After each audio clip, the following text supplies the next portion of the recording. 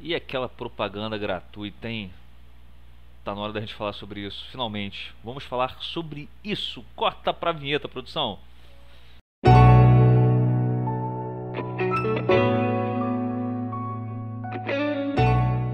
Olá, meu amigo, minha amiga do Pode Não Pode, bem-vindos a mais um vlog de sábado aqui no nosso canal. Que bom que vocês chegaram. Espero que todo mundo esteja em casa, com saúde, em segurança.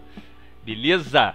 Gente, vamos falar finalmente sobre o Instituto da Propaganda Gratuita aqui no Pode Não Pode. Vamos começar fazendo um apanhado histórico. Como é que começou esse lance da propaganda gratuita? É, quem acompanha muito Pode Não Pode aqui sabe que eu tenho diversos canais amigos e tem dois específicos que eu participo bastante é, de lives no canal de voz, que são o Retrozeira e o Mini Castle. Num desses dois canais, eu não me lembro qual deles e nem quando, eu fui falar sobre determinado produto e em vez de falar o nome deste produto, eu disse características do produto, concluindo que eu não diria o nome porque tal produto não patrocina o canal. Então, a partir desse momento, eu passei constantemente a falar apenas características e até criar nomes, né? usar sinônimos, né? ou nomes paródicos, essa palavra não existe, eu inventei agora, é, para poder fazer a referência de determinado produto sem a propaganda gratuita, sem falar o nome dele, né? É, obviamente eu falo nomes é, de coisas que estão diretamente ligadas ao tema do canal, né? Videogame, revista em quadrinho. Eu tenho que falar da Marvel, da DC, da Warner, da Disney. Eu tenho que falar da Konami, da Sega, da Capcom, da Sony, da Microsoft, né? Então sobre esse tipo de, de é, produto eu não tenho como escapar. Mas, cara, para falar de comida, refrigerante, roupa, carro, não vai, não vai ter propaganda gratuita aqui no Pode Não Pode. E eu vou explicar para vocês por que que eu decidi é, levar essa brincadeira um pouquinho mais a sério. Sempre será uma brincadeira, é pra gente se divertir é, no chat, é, dar risada, mas ela tem um fundinho de verdade. É uma grande brincadeira com um fundinho de verdade. Beleza? Eu vou explicar por quê. Vamos lá. É, você pega canais aí que são frequentados por praticamente todos vocês que estão aqui no Pode Não Pode. Cosmic Effect, Sega Retro BR, o Ghost Games, Mini Castle, é, Videogame Lifestyle, o próprio Retrozeira, Sega Saturn é, Mania, é, Central Pandora, Resident Evil Database. Esses, to todos esses canais são considerados canais pequenos. Todos eles. Alguns menores, outros um pouquinho maiores. Né? Mas todos eles dentro da, do, do, do, da pequenez né? desse oceano que é o Yutoba.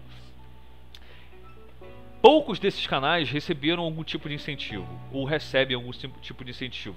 Geralmente é uma chave específica, para testar um jogo, para jogar um jogo, né?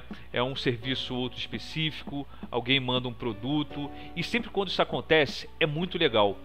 E os canais dão devidamente, dão, dão o devido valor é, para essas pessoas que dão ajuda, para essas empresas que dão ajuda, né?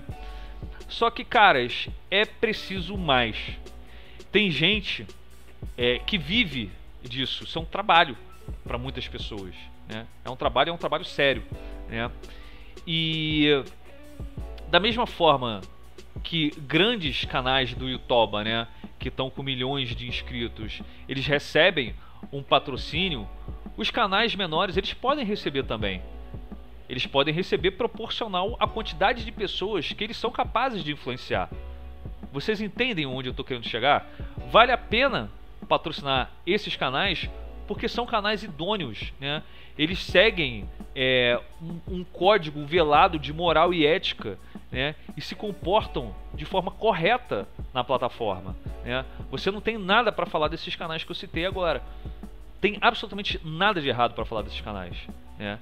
De comportamento, né? entendeu? E, ou, de influenciar as pessoas é, a uma conduta perigosa, a uma conduta de ódio, a uma conduta nociva no geral.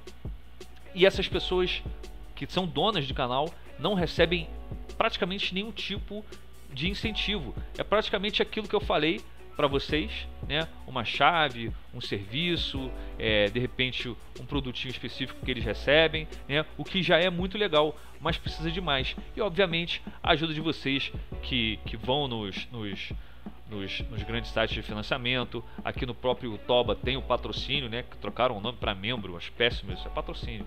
Né? Então, é, esses canais que eu falei, eles, eles se sustentam basicamente pelo, pela ação de vocês. Né? É pela ação de vocês. É, o incentivo que vem de fora é muito baixo. E eu fico um pouco chateado com isso. A chateado até a página 2, porque não vale nem um pouco a pena.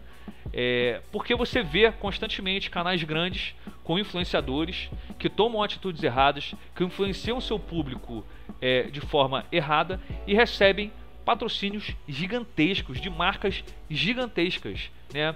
Tem gente que está cometendo erro atrás de erro e recebe cancelamento e a marca vê a pessoa cometendo erro atrás de erro atrás de erro e só tira o patrocínio quando a coisa fede de tal maneira, cara, que a pessoa é cancelada e você ter algum tipo de vínculo com esse cidadão ou cidadã acaba sendo nocivo à sua marca. Né? Não tem nada de errado nisso, é business, né? é negócio. Mas eu acho que poderia também haver um incentivo proporcional aos canais que têm um alcance menor e que são capazes de influenciar. E se vocês notarem, o próprio Pode Não Pode, que é um canal minúsculo, nós somos um, nós somos um micróbio, é uma gota no oceano. Até o Pode Não Pode tem capacidade de influenciar. Vocês lembram? Teve uma fase aí que eu tava comendo bombom adoidado enquanto eu faço live, né? Eu tenho uma necessidade de açúcar que eu me auto-impus, né? Depois das 10 horas da noite, né? Um pouco antes de dormir, etc e tal. É... E a gente andou consumindo aqui caixa de bombom da marca Menino, né? E cara, eu abrindo a caixa de bombom e degustando os bombons e criando nomes, e a gente vai se divertindo nisso, criando nomes é, para as pessoas tentarem desvendar que bombom que eu estou comendo, é, fez com que algumas pessoas ficassem com vontade de comer o bombom também. Né? Isso aconteceu, por exemplo, com a minha mãe, que me mandou mensagem depois de uma live e falou assim: vou ter que comprar uma caixa de bombom amanhã. E comprou. Né? Isso aconteceu com o Samuel, por exemplo o Samuel assisti, me assistiu numa live comendo uma caixa de bombom, né?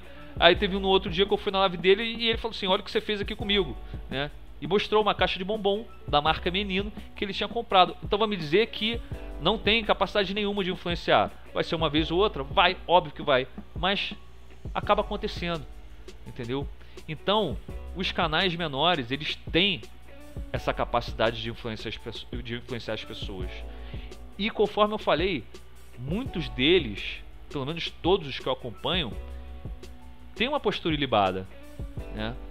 E eles podem ser alvo de uma campanha de patrocínio. Cara, por que não?